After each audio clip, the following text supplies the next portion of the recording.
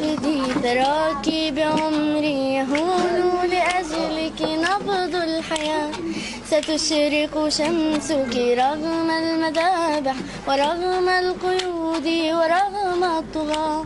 فلسطين إني أسائل نفسي وسيف الأسى عالق بالشفاء. لماذا يموت الوليد سريعا ويبقى طويلا طويل الإمام فلسطين أفدي ثراك بعمري يهون لأجلك نبض الحياة.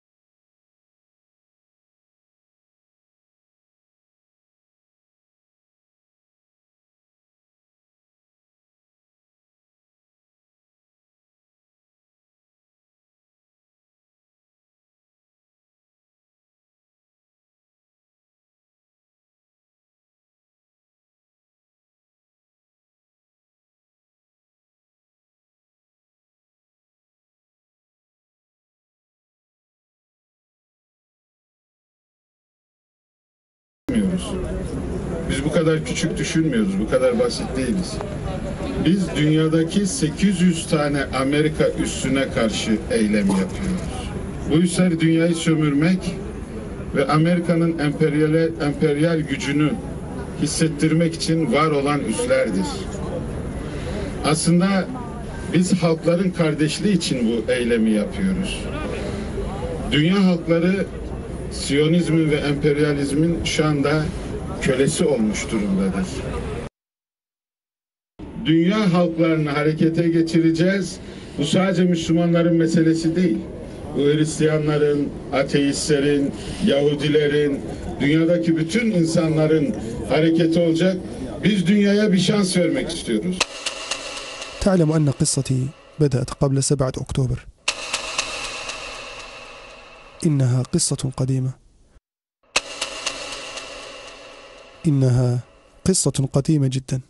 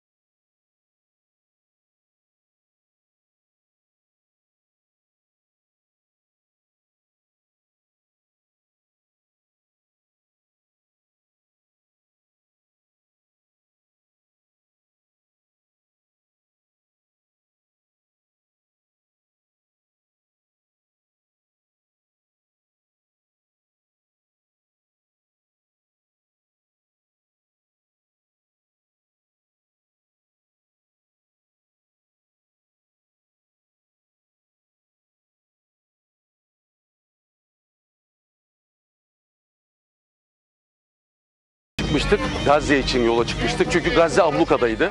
ربما تتذكر هؤلاء الناس كانوا في الطريق ليشهدوا قصتي بأنفسهم هؤلاء الذين لا يتذكرون الماضي أعلم أن الكثير قد تغير منذ ذلك الحين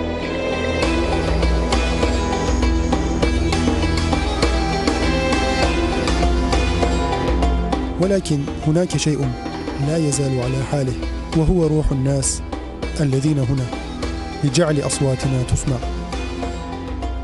لم تتغير الروح. Gazze'de insani değerler yerle eksan edilmişti. هل أخبرتك بالفرق بين النظر والرؤية؟ إذا كنت تستطيع أن ترى فكل هذه الصور لديها شيء لتقوله.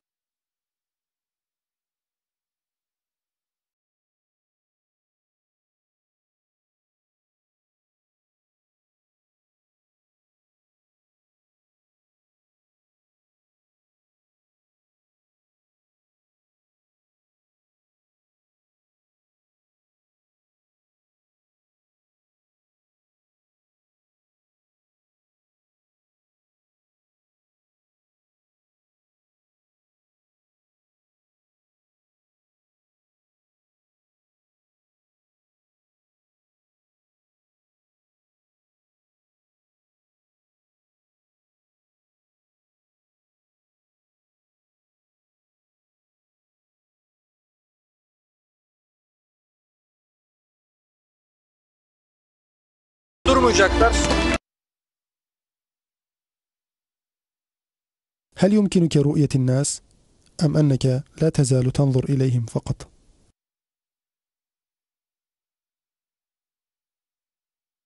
Sıcak yuvalarımızda yatmayalım.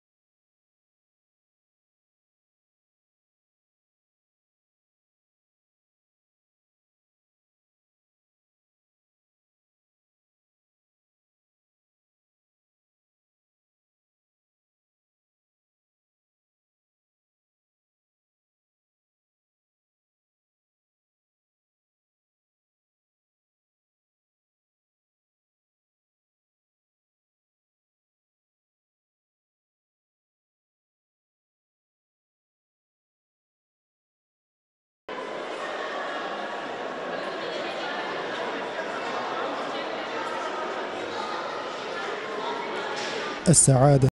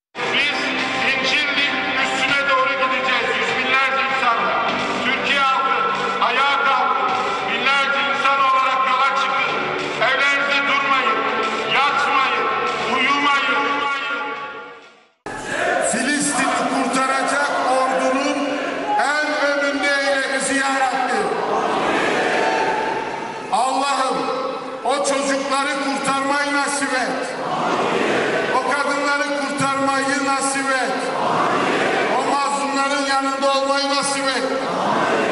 Ve bunun için bize gayret ver, heyecan ver. Ya Rabbi şehadet aşkı ver.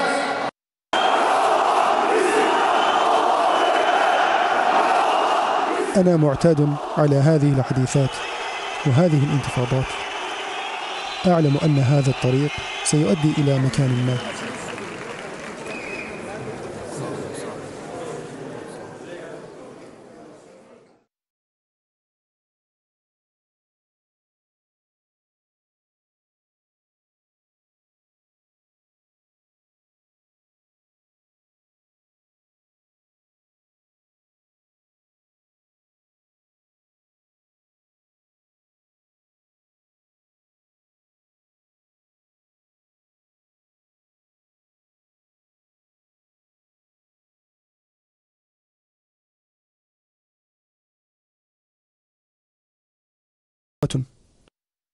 أم تنوح على جثمان أولادها الذين فارقوا الحياة.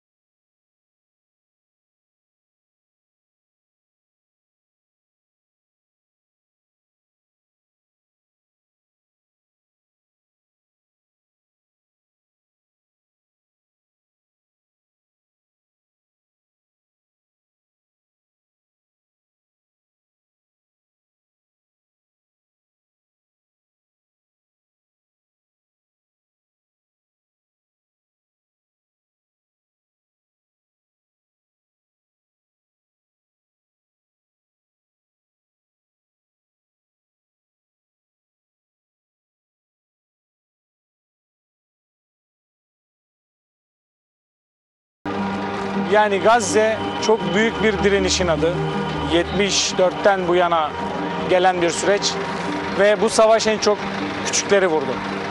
انظر إلي إنهم يقتلون أطفالي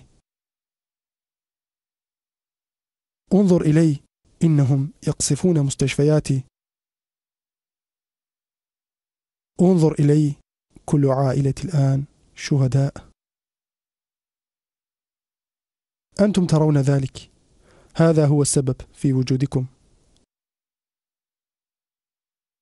إلى أين تذهب هذه الطريق؟ لماذا كل هؤلاء الناس هنا؟ ماذا يريد هؤلاء الناس؟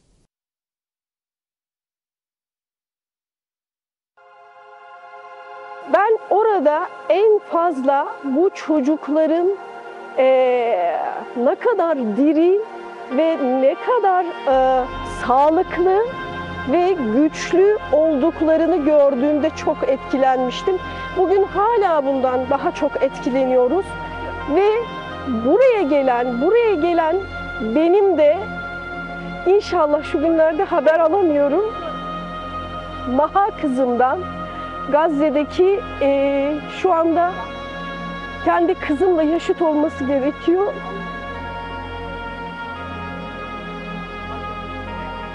17 yaşından Maha'dan haber alamıyorum. 8 yaşından beri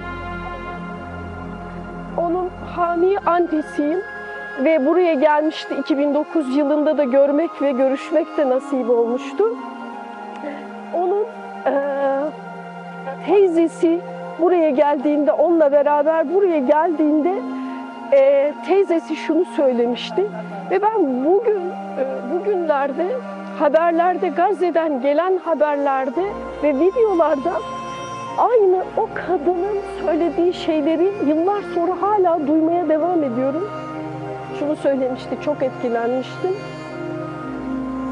Biz hep namaz kıyafetlerimizle otururuz ve aynı odada bulunmaya çalışırız. Çünkü ne zaman üzerimize bombardıman yağacağını bilmediğimiz için biz hep bir arada olarak şehadete yürümeyi isteriz demişti.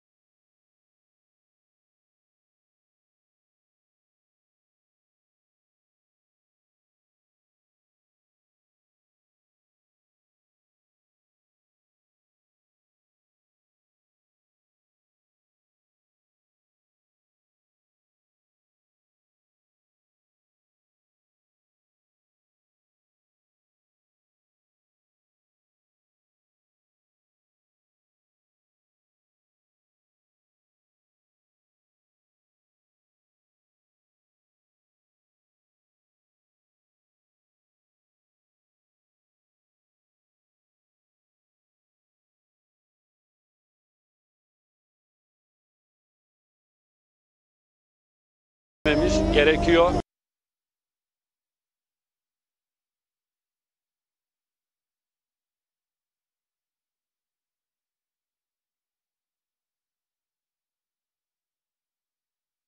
Artık su yatağını taştı. Artık bütün insanlık gözyaşı döküyor. Yeryüzünde hiç kimse yok ki Gazze'deki İsrail'in işlediği cinayetler sebebiyle ölen çocuklara ağlamasın. Yürekleri sızlamasın. Tam bir ay oldu. İsrail kelimenin tam manasıyla soykırım yaptı. Hastaneleri vurdu, okulları vurdu. Çocukları öldürdü. Yollardaki insanları öldürdü. Elektriği kesti, suyu kesti. Gıdayı göndermeyi engelledi. Ne içeriye girenlere müsaade etti ne dışarı çıkanlara müsaade etti. Gazze buna rağmen ağlamadı, direniyor. Ve diyor ki eğer bizim ölmemiz Filistin'i özgürleştirecekse, dünyayı özgürleştirecekse, dünya insanlarını özgürleştirecekse biz kendimizi ve bütün çocuklarımızı kurban etmeye hazırız diyorlar.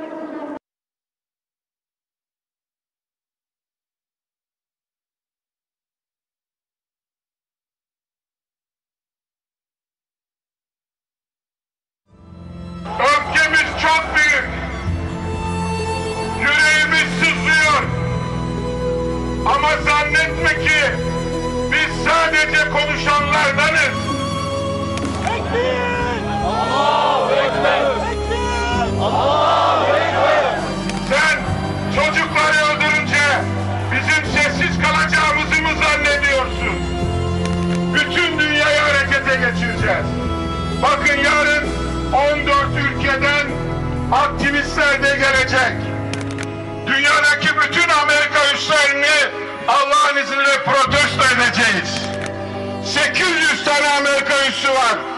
Amerika bundan sonra neyin ne olduğunu görecek.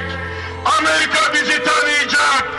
Amerika yeryüzündeki insanları tanıyacak. Amerika yalnızlığı yaşayacak. Çünkü bunun suçlusu Amerika'dır. İsrail Amerika'nın dediği her şeyi yapar. كفى ستخسرون ستخسرون ستخسرون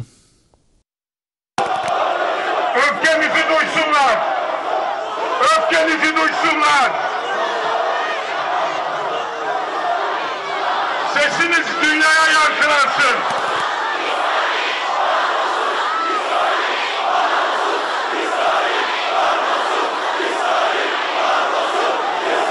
Geldiğiniz gibi gidersiniz. Geldiğiniz gibi gidersiniz. Geldiğiniz gibi gideceksiniz. Ey İslam dünyası ayağa kalkın. Çocukları bırakmayın. Kadınları bırakmayın. Ne oluyor size? Hala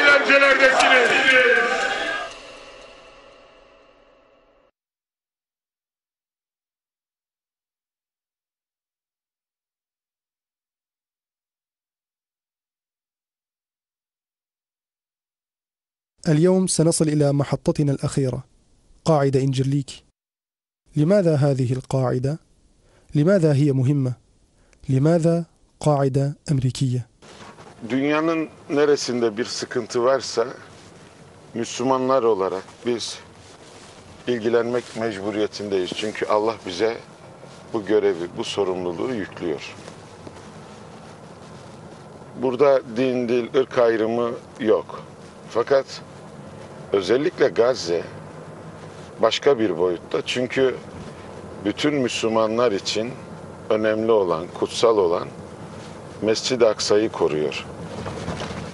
Gazze'li insanlar aslında hepimizin inancının gerekliliğini yerine getiriyor. Fakat öyle bir döneme geldik ki artık Yecüc ve Mecüc'ün deşifre olduğu, dünya siyonizminin gerçek yüzünü gösterdiği bir zamanı yaşıyoruz. Herkes siyonizmin merkezi olarak İsrail'i düşünürken Biz Siyonizmin asıl merkezinin Amerika olduğunu çok iyi biliyorduk. Biz Amerika'nın, Avrupa halklarının esaret altında olduğunu, yöneticilerinin Siyonistlerle işbirliği içerisinde olduğunu anlamıştık. Dünyada 800 tane üs var, Amerika üssü var. Bu üsler niçin var?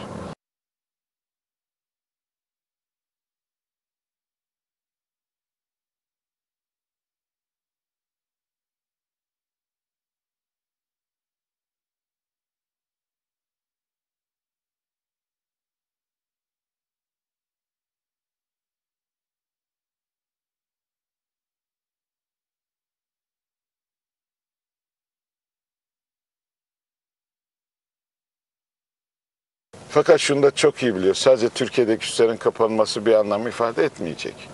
Bütün dünyadaki üslerin kapanması lazım. Topyekun bir mücadeleye girmemiz lazım. Ben Gazze'ye girdiğimde hani siz onları görseniz deli dersiniz şey var ya. Yani sahabeyi görseniz bunlar nasıl dünyayı böyle reddetmiş. Ben Gazze'deki çocukların gözünde sahabenin gözlerini gördüm. Berraklık, kararlılık. Yani bombardıman oluyordu ve insanlar şehit düşüyordu. Hemen oradan toplanıyorlar, ağlayan ağlıyor ama bu arada hızlıca cesetlerini alıyorlar, tekbirler getirip defnediyorlar. Sonra dönüyorlar, işlerine bakıyorlar. Yani ölüm onlar için bir odadan bir odaya geçmek gibiydi. قصتي مؤلمة للغاية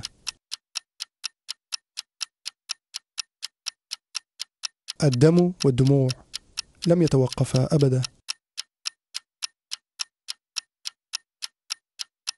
حاول الناس سرقتي من ذاتي. قتلوني عندما تمردت. لم يروا لي. ما لاحظوني؟ قتلوني.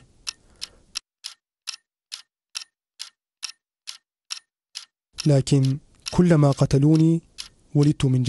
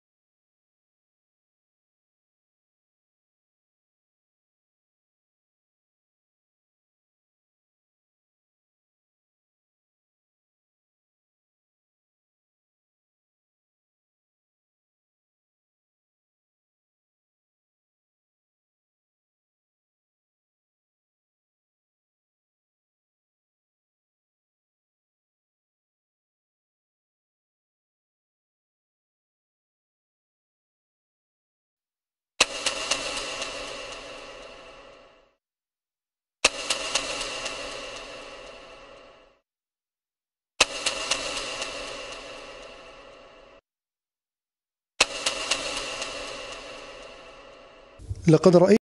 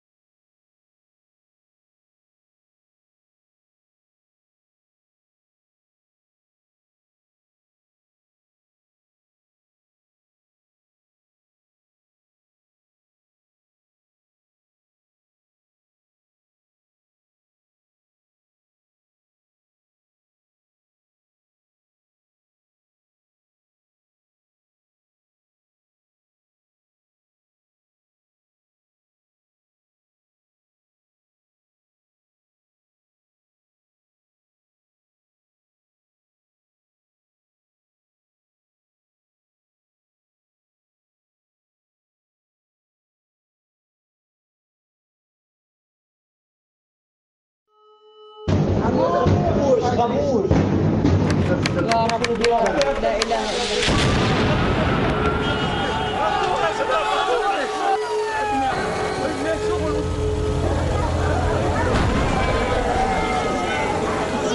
يلا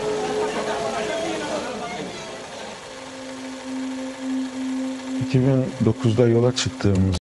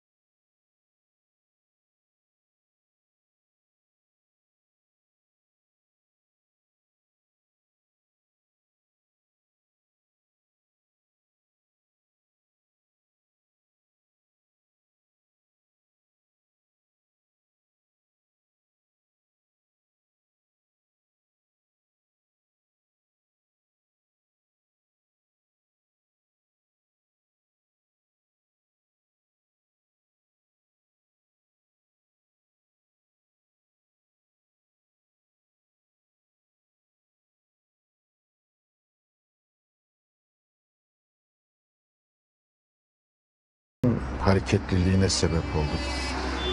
Tabii çok zorluklar çektik. Çok lezzetli anlar yaşadık.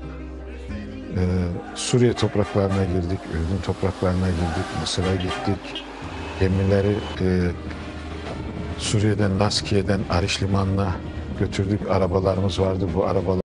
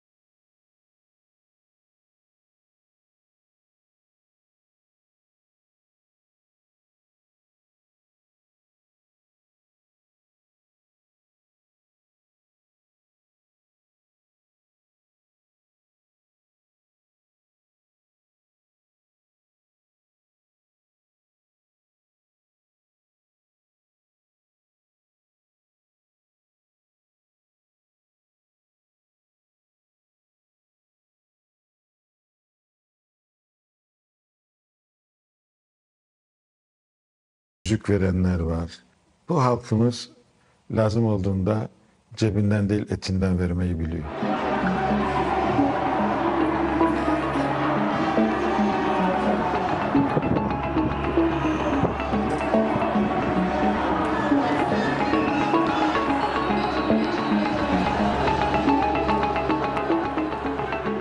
Ama şu anda İsrail nefessiz aslında. Orta Doğu'daki en büyük müttefikini kaybetti. O da Türkiye'dir. Ee, ve Türkiye'de özgürleşti. Çünkü Mavi Marmara'dan önce e, silah sanayinde tamamen İsrail'e ve Amerika'ya bağımlıydık. Şimdi kendi savunma sanayimizi geliştirdik. Kendimiz üretebiliyoruz. Ve e, lazım olduğunda da kendimizi ve Müslümanları koruyacak bir noktaya geldik. Bu her geçen gün artacak göreceksiniz. Türkiye silah sanayinde savunma anlamında bağımsızlaştıkça rahmetli Erbakan Hoca'nın ortaya koymuş olduğu D8 projesinin altyapısı da oluşmuş olacak. Böylece İslam ülkeleri arasında fiili işbirlik İslam Birliği'ne dönüşecek. Ee, onun için Mavi Marmara bir çağı kapattı. Bir çağı açtı. Ve Mavi Marmara İsrail'in sonunun başlangıcıdır. Adana NATO üssü meselesi ise sonuçları tartışılacak ve yıllarca e, bu sonuçları aynen Mavi Marma- Marmara gibi yansıyacak. Bunu hep beraber göreceğiz. Çünkü biz asıl Siyonizmin merkezine hareket ettik. Ve Türkiye'nin her tarafında yaptık bunu. Bu yetmedi Avrupa ve Amerika'daki halkları harekete geçmeye çağırdık, geçtiler ve e, Amerika karşıtlığını arttırdık. Dünyanın her tarafındaki aktivistlerle ve gönüllülerle biz Amerika'yı dünyada deşifre etme planlaması yaptık ve dedik ki aslında Amerika bölgeye geliyor, doğalgaz için geliyor, enerji hatları için geliyor, yeni Süveyş kanalına karşı yeni bir kanal açmak için geliyor. Buraya yerleşecek. Gazze'yi de insansızlaştırıp aynen İncirlik NATO üssü gibi bir üs kuracak. Bütün o Doğu Akdeniz'deki geçişleri kontrol edecek. Çünkü Amerika'nın üç aşamalı bir hedef var. Dünya Siyonizminin daha doğrusu. Birincisi Gazze'yi almak. ikincisi arzu mevdu oluşturmak. Üçüncüsü dünya liderliği. Dünyada 800 tane üssü sen niye kurarsın? Dünya hakimiyetini ele geçirmek için. Dünya Siyonist devleti. Erbakan Hoca diyordu ya. Bunun askeri gücü. Askeri güç nedir? Bu üsler sadece yönetir ve kandırdıkları ülkeleri de devreye koyar. Buna ne der? İşte e, barış gücü der bir tarafta. Bir bakıyorsun Afganistan'da barış güçleri var. Ne arıyorsunuz siz orada? Öbür tarafta barış güçleri. Suriye'de bilmem ne güçleri. Amerika bunu NATO çatısı altında e, gerçekleştirir. Biz bunlara karşı gerekli eylemi yerine getirdik ve inşallah bunun e, yansımaları devamlı olacak. Yani yeni şey değil. Yeni bir süreç değil. Dünya uyanıyor. Dünyanın uyanmasına, uyanması için gerekli düğmeyi